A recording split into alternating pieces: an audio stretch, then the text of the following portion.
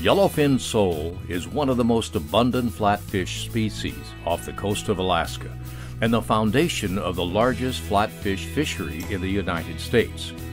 As proof of its long-term stability, the Bering Sea yellowfin sole fishery was certified as a sustainable fishery by the Marine Stewardship Council in May of 2010.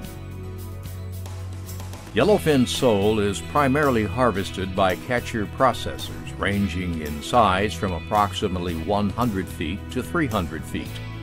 These vessels harvest multiple species of fish and conduct primary processing and freezing aboard the vessel, ensuring the freshest seafood products possible. The yellowfin sole season is nearly year-round from January 20th to December 31st, providing for a consistent supply of products to the market. There are two peaks during the season.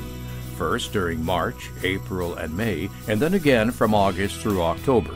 The fleet produces a wide range of product forms, including H&G fish, also known as head and gutted fish, as well as whole round fish and kirimi or fish slices.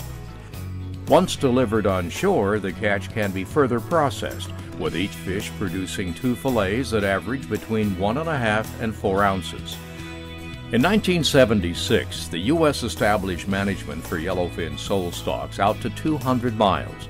A federal fisheries management plan adopted through an open and transparent public process and based on sound science governs the harvest of yellowfin sole.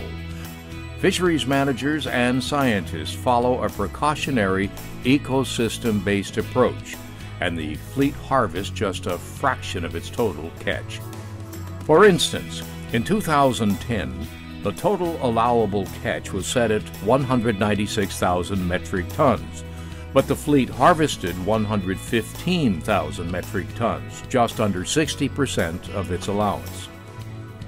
In 2011, the fleet began using Bering Sea flatfish gear for the harvest of yellowfin sole.